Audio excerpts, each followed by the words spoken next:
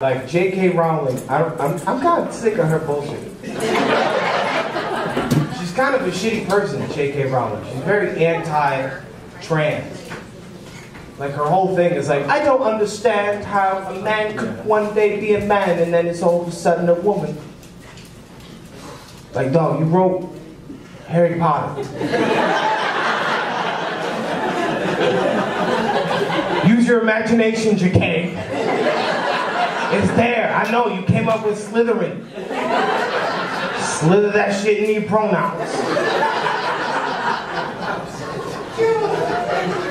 She, J.K. Rowling is so bad at writing names for characters who are minorities. Like, there's one black wizard in Hogwarts, and they, I swear to God, they named him Jim Crow. It's so crazy. His middle name is Civil War. His name is Jim Civil War Crow.